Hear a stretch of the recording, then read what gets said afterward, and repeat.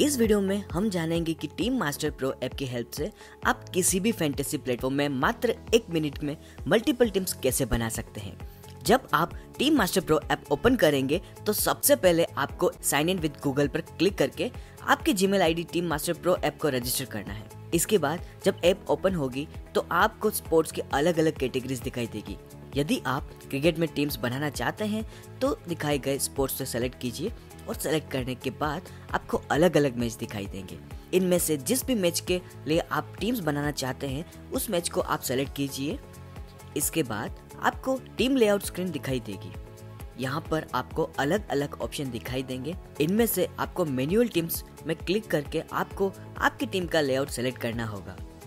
जैसे कि एक से तीन विकेट कीपर एक से पाँच बैटर दो से तीन ऑलराउंडर और तीन से छह बॉलर इसके बाद जब आप सेलेक्ट प्लेयर पर क्लिक करेंगे तो आपको प्लेयर वाली स्क्रीन दिखाई देगी. यहाँ पर आपको आपके एनालिसिस के अकॉर्डिंग जो भी प्लेयर आप, आपकी टीम्स में चाहते हैं, वो सेलेक्ट करने होंगे. यहाँ पर आपको मिनिमम 12 प्लेयर सेलेक्ट करने होंगे.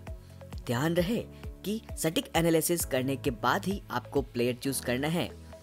प्लेयर को सेलेक्ट करने के बाद सेलेक्ट स्टार प्लेयर पर क्लिक करने के बाद आपको आपके स्टार प्लेयर सेलेक्ट करने होंगे और इन्हीं स्टार प्लेयर में से कोई आपको कैप्टन और वाइस कैप्टन भी सेलेक्ट करने होंगे।